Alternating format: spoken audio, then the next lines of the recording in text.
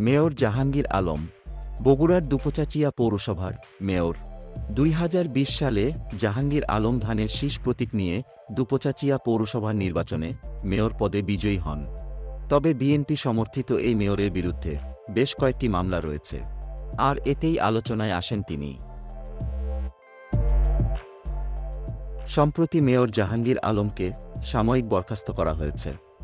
এছাড়া তাকে কেন স্থায়ীভাবে বরখাস্ত করা হবে না, তা জানাতে দশ দিনের মধ্যে, কারণ দর্শাতে বলা হয়েছে। স্থানীয় সরকার পল্লী উন্নয়ন ও সমবায় মন্ত্রণালয়ের উপসচিব আব্দুর রহমান স্বাক্ষরিত একটি চিঠিতে এ বিষয়টি জানা যায়।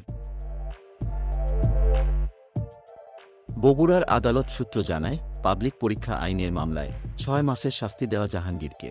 এ কারণে গত এগারোই অক্টোবর বগুড়ার senior judicial magistrate Mirza Shaila বেগমের আদালত তাকে কারাগারে পাঠান। পরে তিনি উচ্চ আদালত থেকে জামিনে মুক্ত হন। এদিকে দুই হাজার বিশ সালে পৌরসভা নির্বাচনের এর আগে নির্বাচন কমিশনে দাখিল করা তার হলফনামায় এ মামলাটিতে খালাস দেখান তিনি। এছাড়া জালিয়াতির মাধ্যমে হাইকোর্টের আদেশ তৈরি করে দুর্নীতির মামলা দশ বছর স্থগিত করে রাখার অভিযোগ রয়েছে জাহাঙ্গীরের বিরুদ্ধে। এতে জাহাঙ্গীর সহ তিনজনের বিরুদ্ধে মামলা হয়েছে। গত চোদ্দই অক্টোবর হাইকোর্টের নির্দেশে রিট শাখার সুপারিনটেন্ডেন্ট আব্দুল মোমেন বগুড়ার সিনিয়র স্পেশাল জজ আদালতে এ মামলা করেন।